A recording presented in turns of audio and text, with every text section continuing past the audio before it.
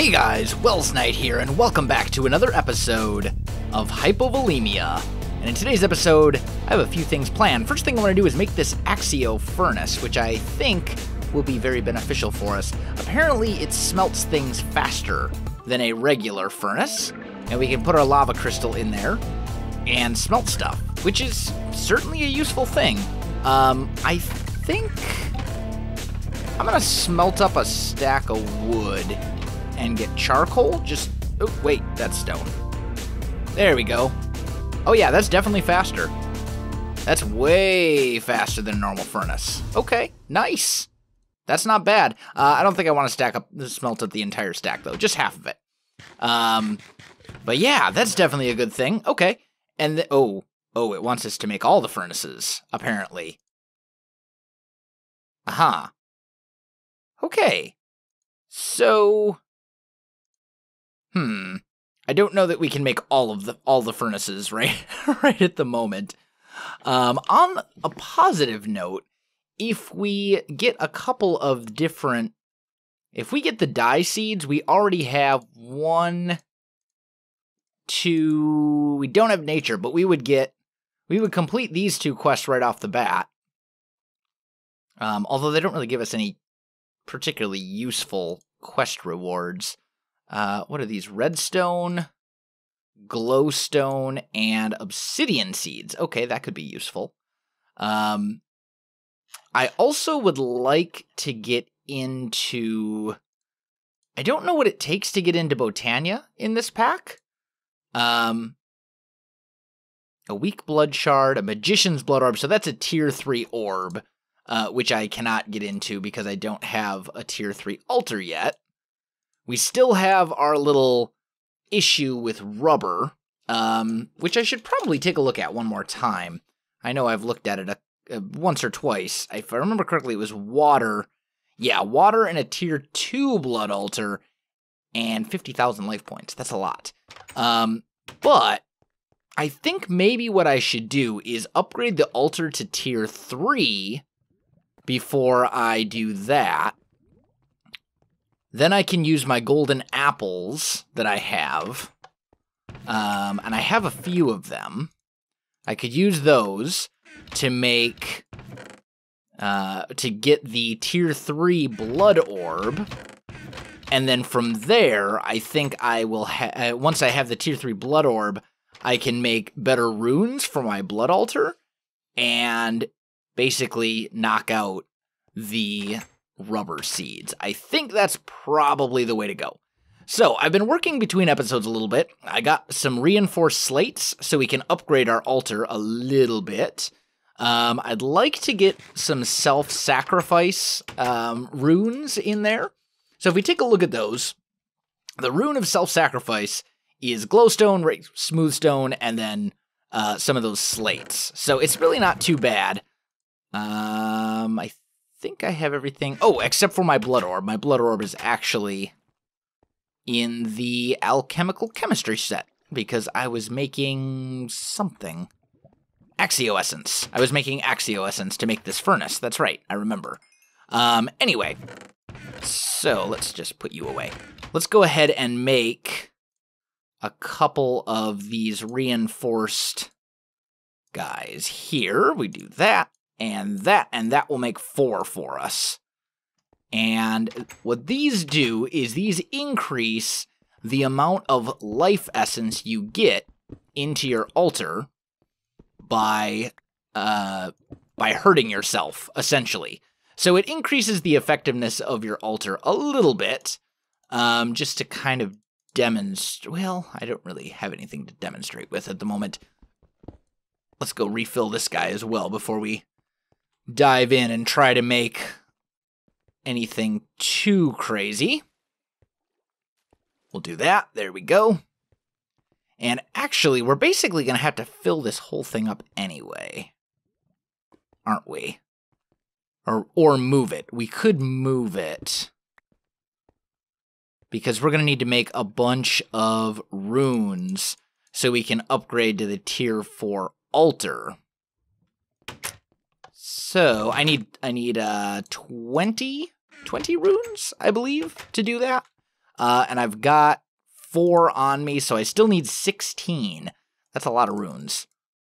Uh, so I guess we'll get those going. And I'll just dump them right there. There we go. And that'll start um, doing its thing. 10, 10 runes. That'll give me 10 of these blank slates. And it will give me the ability to make a bunch more of these regular blood runes, uh, which aren't perfect, but you know what? They'll allow us to get into better stuff. And that's the big goal here, because ultimately, I think what I want to do is I kind of want to follow the advice of the HQM book um, here, where it says I should make runes of dislocation, because they will increase the rate at which stuff can flow into the blood altar, specifically life, and if we can, I mean, we get enough of these portable tanks, we can just load up like five of them. That's 50,000, you know, that's, that's quite a lot of LP. Uh, so I think that's probably going to be our best bet for some of these really big crafting uh, things that we need to do. Now, it is going to take a while to make all of these, so let me get on that. Oh, and actually, one other thing as well. Between episodes, I got 10 10 10 coal seeds. Thank goodness. So we now have a reliable source of coal, which is definitely a good thing because we didn't have one before other than charcoal. And that's kind of a pain. That's a lot of steps. Very tedious. Not a whole lot of fun. Unfortunately, it doesn't give us a whole lot of charcoal, but uh, eventually we'll just make a big field and, and harvest it that way, which will work fine. So, anyway, I'm going to do some crafting here. I'm going to get some of this, uh, some of these blood runes made, and I will come back to you in just a little bit. All right, guys, I'm no, uh, I'm back. Note to self: be careful when using the blood stuff. I definitely killed myself on accident. It was not one of my more brilliant moments. Good job, self. Terrible. Absolutely terrible. oh, man. Okay, anyway, so I'm still working on this, but I just thought I'd share my idiocy with you. It was not one of my better, yeah, not good. Anyway, so I'm going to get back to it, guys. I'll come back to you in just a little bit. All right, guys, I am back, and I realized one other thing I should probably do while I'm here is make a uh, is make some molds so that I can uh, smelt blocks and ingots in the furnace. I think that would be very wise of me. Uh, so let's just grab an ingot out of here, just one, and we'll make an ingot mold and a block mold. And those should allow us to take all of this iron that we have sitting in portable tanks right here, basically taking up space, and convert it into something useful, i.e., actual iron. Uh, so that's another thing that I want to work on while I'm waiting on this process. I figured that was probably a good idea. Uh, so let's see, we have this flowing into here. Can I just put this on top? And then we put a block there. And do one of those. Will that work? Seems like it. Uh, I think we will have to power this stuff again, though, which is fine. There we go. We'll just turn that on. And that should start spitting out iron blocks here pretty quick. And then we can stack those guys on top. This is a tank of life essence. Yeah, there we go. So those will drain into here, and then anything that's left, I'll use the ingot cast uh, to get the rest of it. And that should be good. That should actually really help us uh, because it'll open up a couple more portable tanks for us to use over here. So, yeah, definitely a good thing. But anyway, I'm going to get back to it. I just wanted to show you that. I'll come back to you in just a little bit. All right, guys, I am back, and I've got the 20 runes I need. I think I've got all the materials I need. Pretty sure. Yep, I do. I think I'm going to use wood. Let's grab wood, and then I've got my four glowstone, and we're basically just going to pick up the altar and move it. because uh, this is not exactly an ideal location for it since it's about to get way bigger. So I think I'm just going to move it to a new area uh, altogether. I'm thinking maybe over here we'll put it like kind of up on this hill, perhaps. That could be a good spot for it. Um, and eventually I'll want to build probably like a structure around it and some stuff like that because uh, I think that would be cool. So let's go ahead and just kind of clear this little bit right here away. There we go. And then we'll have to assemble the altar and see if we can get our hands on that. Uh, um, oh, I forget what it's called. The the tier three blood orb. Yes, that thing. So let's see. One, two, three, four, five, six, seven. That looks about right. Ish. Uh, maybe we go here instead. Let's put that right there. There we go. The one, two, three, four, five, six. Right. Seven. So we need a 7 by 7 area, essentially.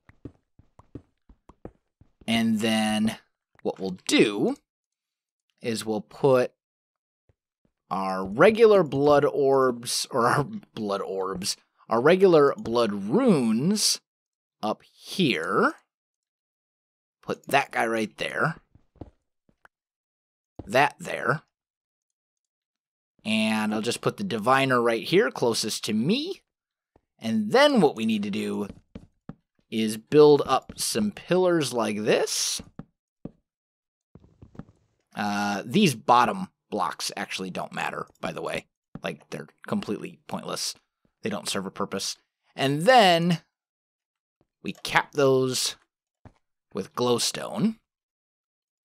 Like so. And then finally, we take all of our runes, and we have a lot of them. We take the rest of our runes and plop them down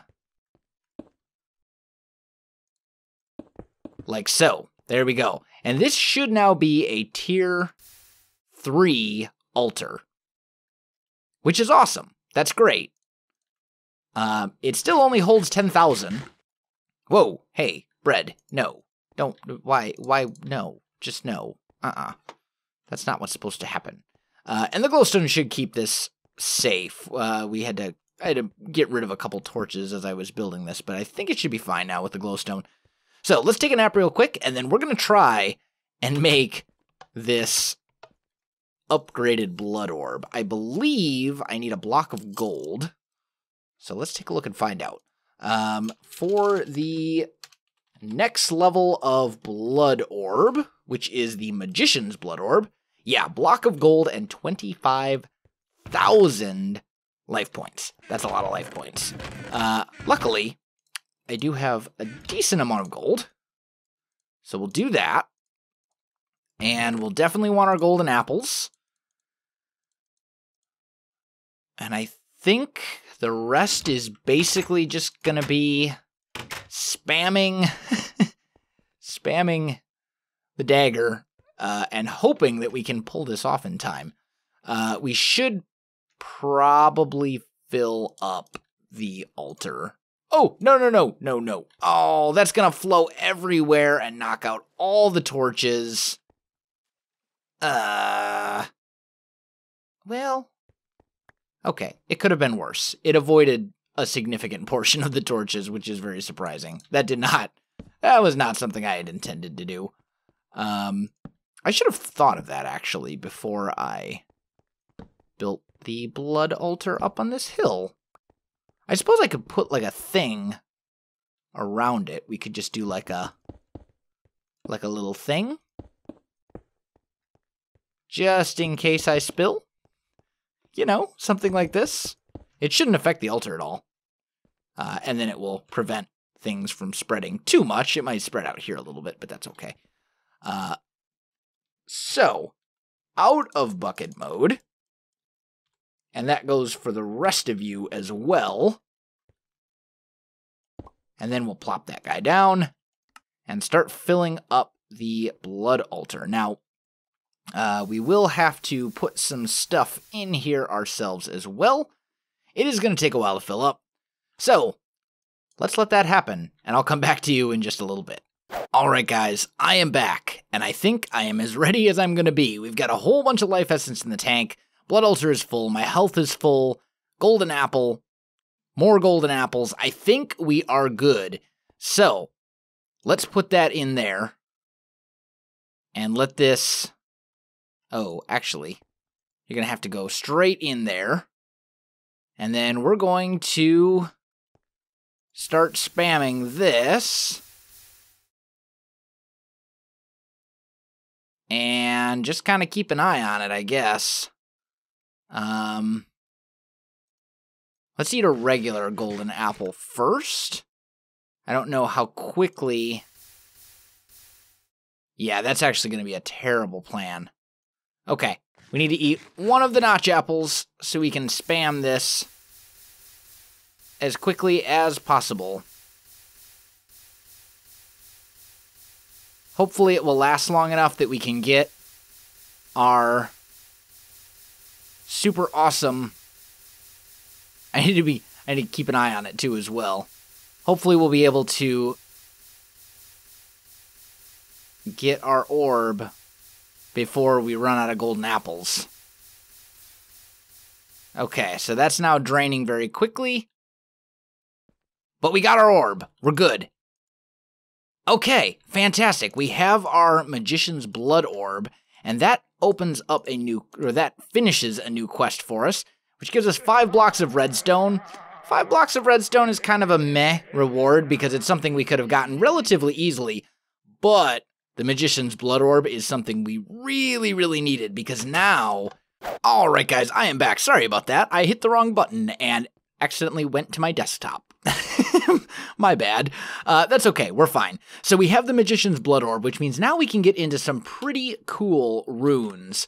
We've got uh, the runes of augmented capacity, which will increase the amount of life essence that can be in the blood or, uh, in the blood altar, and then we also have the rune of dislocation, which will increase the speed at which external sources, like these portable tanks, can uh, essentially input life essence into the blood altar. So, very, very useful things. But I think those are going to have to wait for another episode, guys, because I am out of time for this one. So, if you enjoyed this video, don't forget to like, subscribe, and leave me a comment. I do appreciate it, and it really helps out my channel.